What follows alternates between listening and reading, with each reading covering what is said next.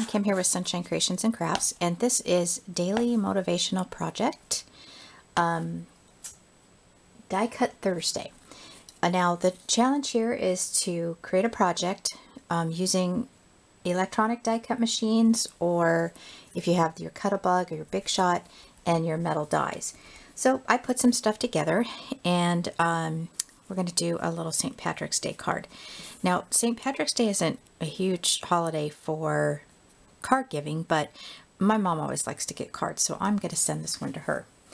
Now, um, this here is just a cream colored cardstock, and I bought a whole stack of this at uh, Staples. So it's just, you know, the A2 size here. And this is out of my scraps, and um, I'm not really sure what name brand it is, but it's real pretty. I like the flowers on the other side, but we're gonna we're gonna do the the plaid. I'm just putting glue on the very edge so that it stays down on my card base. And I'm going to stop a minute here and show you this is the die that I used. And this is a Spellbinders. And it measures inside at three and three quarters by five. And you could do uh, multiple layers with this.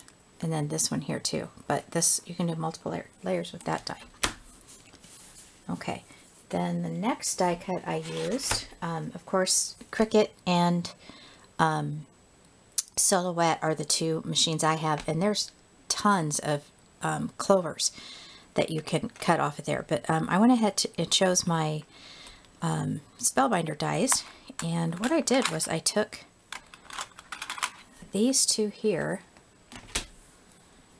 and I cut the big one out in black and then the smaller one in some glitter green paper from Core'dinations and the black is Recollections.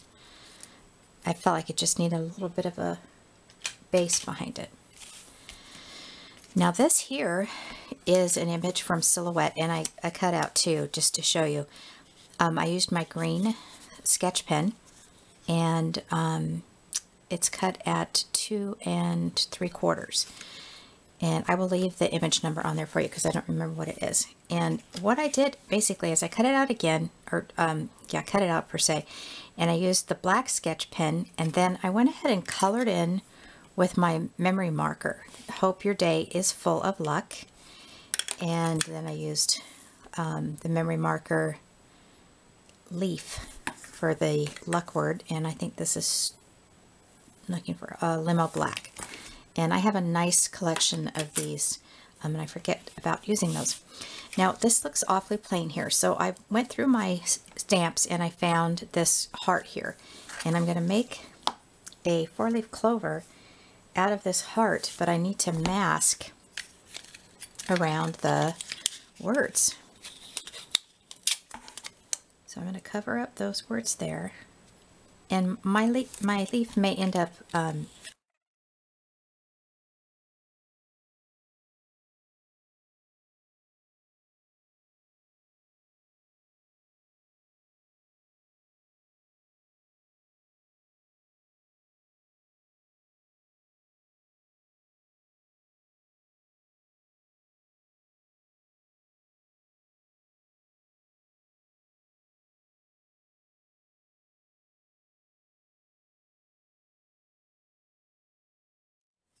Okay, that's not what I wanted.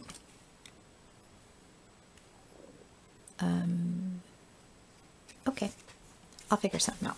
So anyway, we're going to put this down at the bottom. I, I, I see now what I did wrong.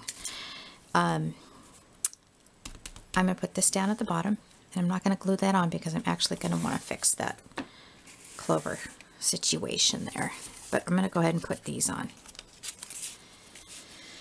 And get my glue.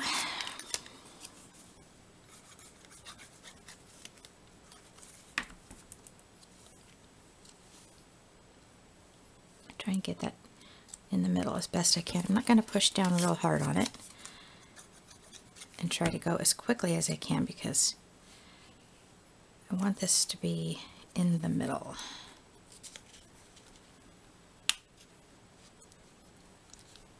And also not to go over. the edge so it'll fit in the card, I mean in the envelope. Now I did a YouTube video and I um, posted something on my blog about how it would be um, really fun if you all would participate in these um, daily motivational projects. Um, I know how busy everybody is, so um, just you know do what you can on the days that you can, and we can share your projects and get inspired by it. That's what it's all about.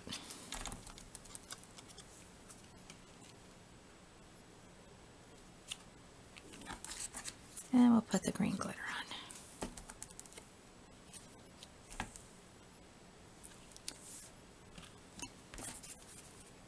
I love that green against the black.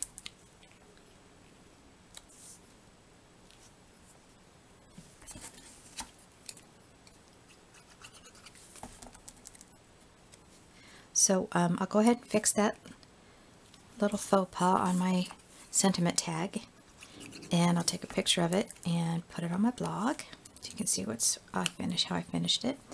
I'm going to take a button and it's got to be the right color of green. Aren't these great buttons? Just collected them over the years. It's okay, Goonie.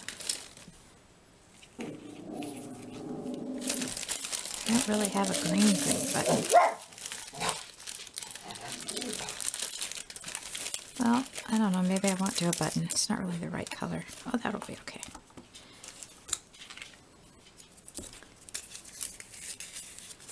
My poor um, white miniature Schnauzer Gunther, he has a genetic disorder where his teeth um, rot and fall out of his mouth. It's crazy. So we went yesterday, uh, day before yesterday, losing track of time, maybe it was two days ago, and um, he had to have 10 teeth pulled, but he's got plenty of teeth left. I didn't realize how much teeth dog, how many teeth dogs have. All right, so I'm going to get out my little bow maker and I'm going to put a little bow right there. Now this is like uh, rainbow twine, but um, I wanted to get, you know, some yellow in there. So I kind of moved it down a little bit. I got it backwards, that's Okay, here we go and then I'll go ahead and cut it off, but I'll use the rest of this twine. It's not a problem.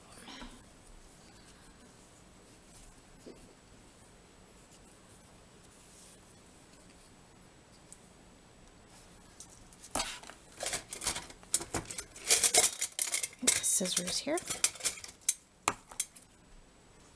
It's got to be a small tail.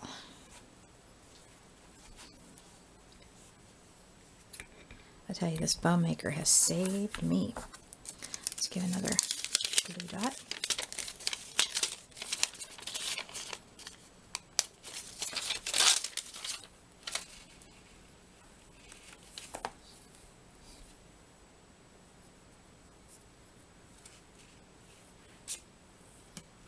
And we'll put that there. So, like I said, I will um, go ahead and fix this so this goes out that way a little bit.